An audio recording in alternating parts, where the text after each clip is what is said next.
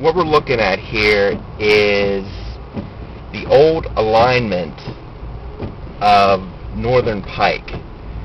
This used to be the main highway to get through Monroeville and the eastern parts of Allegheny County. Northern Pike actually used to be a turnpike back in the late 1800s, early 1900s, but then was replaced by the current alignment, which is Route 22 William Penn Highway. Well, actually, no, I correct myself.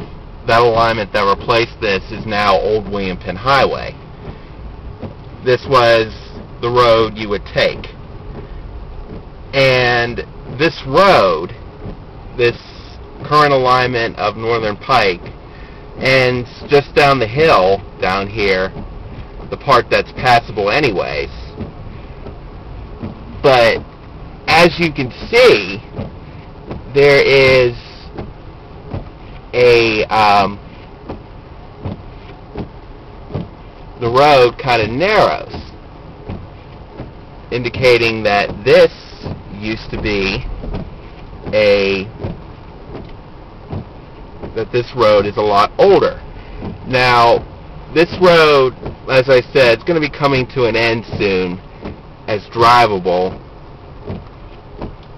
but um, it goes on to private property, so I can't really go down there.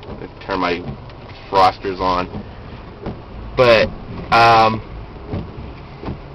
this road, as I said, leads to a series of abandoned bridges that I'm gonna try to try to um, try to get to um, little a little bit later if I have time this evening.